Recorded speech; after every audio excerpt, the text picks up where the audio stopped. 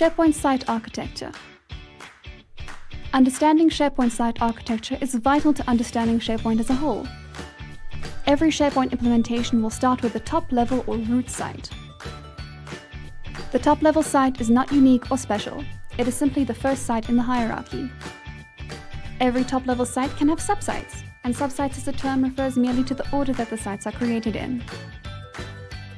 Subsites are created subsequent to the top-level site, and as many subsites can be created as are necessary.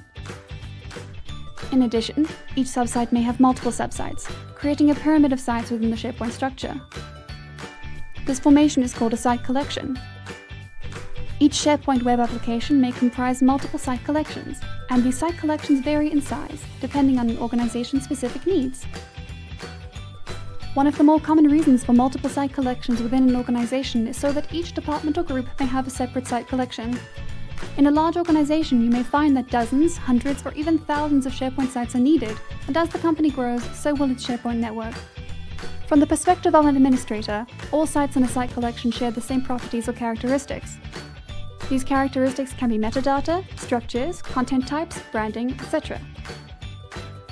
SharePoint document storage and workflows. SharePoint has many functions. Amongst the most important of these functions are its document storage and workflow automation capabilities. To better understand SharePoint's document management capabilities, it is necessary to first define what exactly a document is and how it is stored. In simplest terms, a document is a digital file containing data or information. In SharePoint, documents can be organized into libraries. A SharePoint list is one of the simplest ways of storing and managing data in SharePoint. Anything that can be a list can be a SharePoint list. A SharePoint list is a container for information that functions like a database or spreadsheet.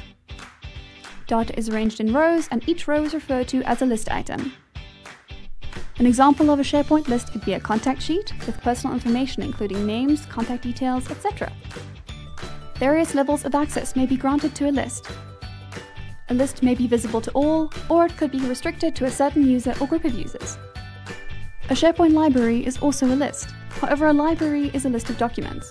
You can also have one or more libraries in a site. Similar to the SharePoint library is the SharePoint Record Center. A record center is a digital archive of documents. Documents can have lifetimes within their respective libraries, and after a certain point, documents will automatically go to the record center.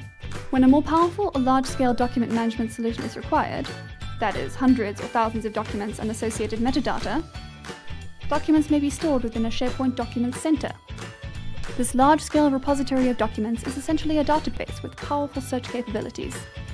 To investigate SharePoint workflows, it will first be helpful to define what a SharePoint workflow actually is.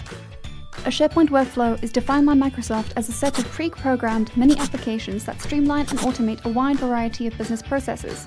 Simply put, workflows automate business or work processes. Workflows can range from setting reminders, giving feedback, or sending emails, SharePoint workflows are designed to save you time and effort and to bring consistency and efficiency to tasks that you perform on a regular basis. The best way to start your company's SharePoint journey is to have a needs analysis done at your company. Contact Sound Idea Digital today to arrange a meeting.